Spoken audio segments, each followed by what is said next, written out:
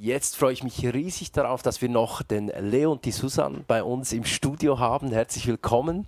Danke. Vielen Dank, dass ihr uns äh, mitgenommen habt in diese starken Gedanken, einfach in dieses neue Jahr. Ich, hab, äh, ich war fasziniert von diesem ganzen Salböl. Das war vieles neu und da gibt es sicher ein paar spannende Fragen noch dazu. Danke vielmals, seid ihr noch da. Ja, Salböl, jetzt, äh, also ich habe mal eine Frage da grundsätzlich. Muss ich mich denn jetzt ölen lassen, noch zusätzlich, damit Gott mich segnen kann? Oder reicht da nicht mehr Gebet? Wie, wie sieht das aus?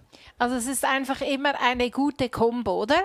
Weil äh, beim Abendmahl habe ich mich das Gleiche auch schon gefragt. Reicht es, wenn ich äh, den Traubensaft oder den Wein sehe und das Brot und äh, an ihn denke, was, was ist denn genau der Unterschied? Ich glaube, also für mich wäre es so vergleichbar damit. Es hat einfach eine Kraft, dieses Symbol auch physisch zu mhm. spüren an sich.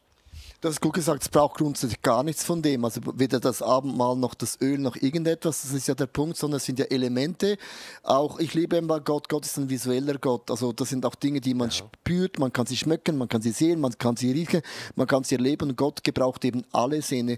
Und ich finde es eben interessant, ähm, wenn man dieses Öl hat man ja zusammengebaut mit diesen mhm. Elementen. Also die haben natürlich ganz genau gewusst, was ist die Bedeutung dahinter. Und ich finde halt, das ist ein bisschen so manchmal schade. Man verliert ein bisschen so die Bilder. Äh, in dem Sinn, weil es wird ja alles äh, gemacht in einer Firma, in der Industrie und man kauft es fix fertig. Mhm. Und dazu mal haben sie alles er erstellen müssen. Ja. Und halt von dem her ist es für mich immer äh, cool, sage sag ich das Abendmahl oder ein Öl, dass man sich ein bisschen breiter auch überlegt, was bedeutet das für meine Lebensbereiche.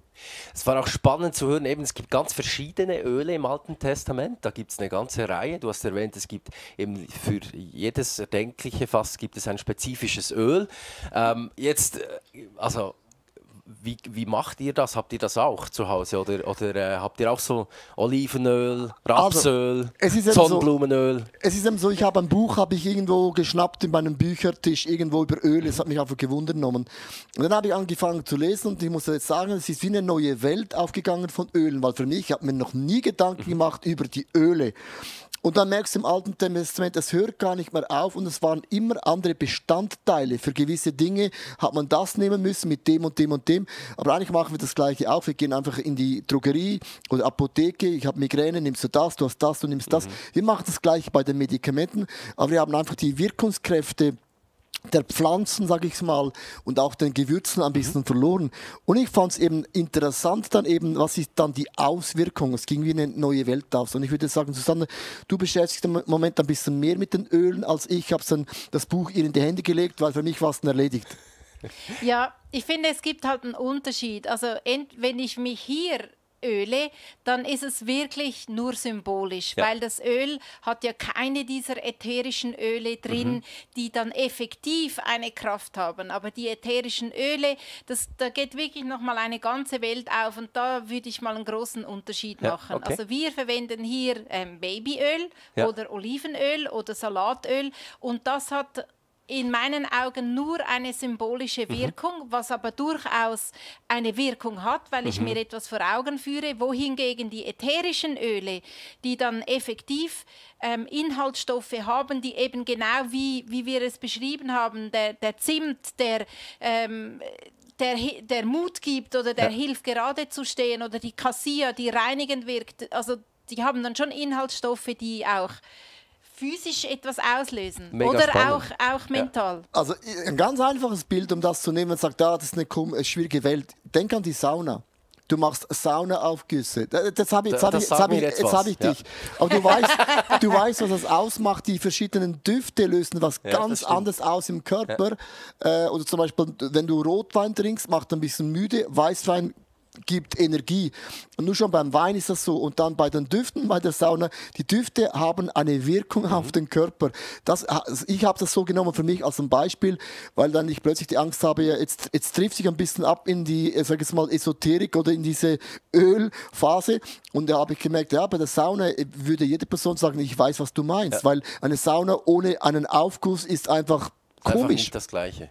Absolut. Hey, also wenn, wenn du es noch nicht geguckt hast, schau dir unbedingt diese Message noch an, weil es war ganz spannend, eben diese äh, Ingredienzen in diesen Ölen auch ähm, und wie ihr das erklärt habt, äh, was da auch diese äh, Kräuter und was alles da drin ist, wofür das eigentlich steht. Also ultra spannend. Und jetzt das Salben ist ja auch eben in der Bibel immer wieder ein Zeichen, dass Gott irgendwo etwa jemanden ähm, markiert mhm. oder auch äh, ein, ein Symbol für das Königliche. Da gibt es ganz viele Beispiele.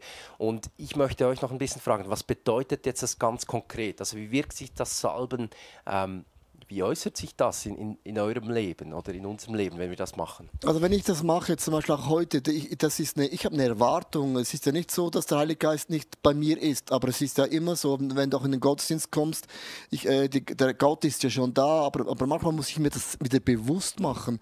Und wenn ich das Öl, wir haben uns heute auch geölt, das, es macht etwas, weil ich, weil ich merke, die andere Person betet für mich, mhm. sie legt die Hände auf, sie spricht auch Wahrheiten Gottes auf, also es macht mich wieder so on fire und mir bewusst, doch, ich will den Heiligen Geist noch bewusster in Anspruch nehmen, das ist ja immer da, das ist ja nicht das Problem, aber ich bin, ich bin oft nicht da und das macht mir der Bewusstsein, doch, ich mhm. trage diese, diese Kräfte in mir, mhm. das hatte Gott in mich hineingelegt, das ist interessant, Paulus sagte auch, äh, es, das Wort von Gott ist wie es brennt in meinem Rücken, ich kann gar nicht mehr schweigen. Das verstehst du? Ja. Es ist ja immer etwas in uns, das hat ja Gott hineingelegt. Wir müssen es eigentlich eher ein bisschen so bremsen, aber Gott löst die Bremse wieder, dass eben das auch einen Gewinn geben kann für das Reich Gottes.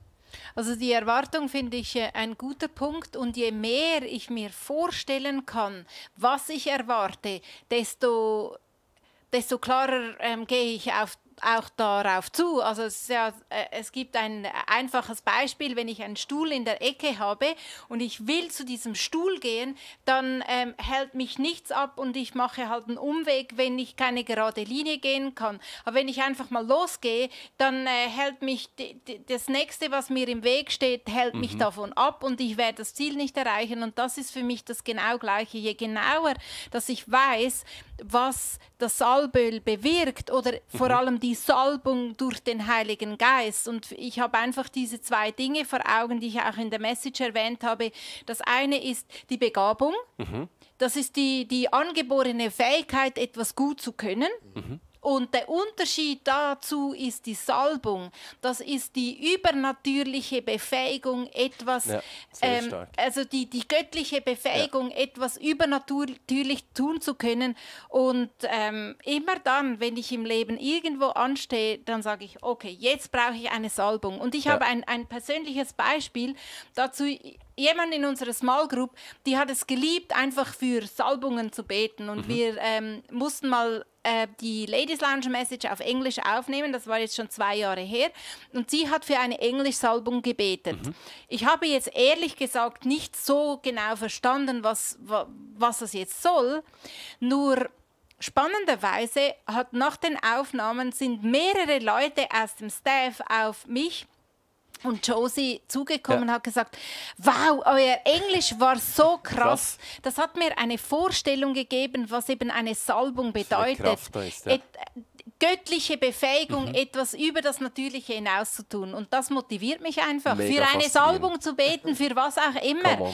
Ähm, also das kenne ich keine Grenzen, ehrlich Sehr gesagt. Cool. Hey, ich, ich merke, du bist äh, on fire für das Thema. Sie das alles, was es gibt, ich bin äh, gerade inspiriert und ich, ich liebe eben oder, diese Erwartung, die du auch angesprochen hast. Ich liebe es ähm, gerade auch dieses neue Jahr, oder? Das ja. ist so ein Moment, wo, wo wirklich auch ein, eine Chance ist, viel zu erwarten wieder. Und ich, ich wünsche dir das von Herzen, dass du einfach reingehen kannst in dieses Jahr, dass du voll sein kannst mit Erwartung, weil unsere Hoffnung so begründet ist. Es ist immer wieder frische neue Hoffnung in, in Jesus drin. Und ähm, wir starten diese Woche ja mit einer Online-Week, Online-Prayer-Week und äh, klingt dich doch da rein. Wir haben ganz verschiedene Angebote und Möglichkeiten. Äh, du findest da alles eingeblendet und kannst da rausfinden, wann wir live sind. Und ich glaube, morgen startet ihr. Äh, ich freue mich schon drauf und ich äh, freue mich, euch auch wieder zu sehen, bald online mit dabei oder hier vor Ort. Ganz eine gesegnete Woche euch und bis dann.